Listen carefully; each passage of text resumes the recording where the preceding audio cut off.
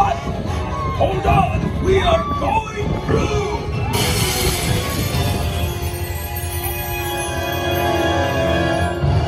The Great Tower! That is a big goose. And she thinks we're taking her baby.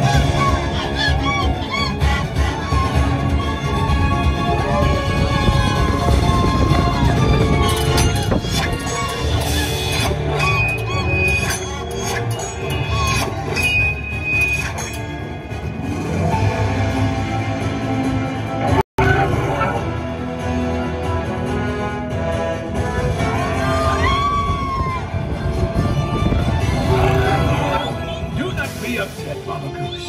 Your baby is saved. Time to celebrate. We have saved the orphanage.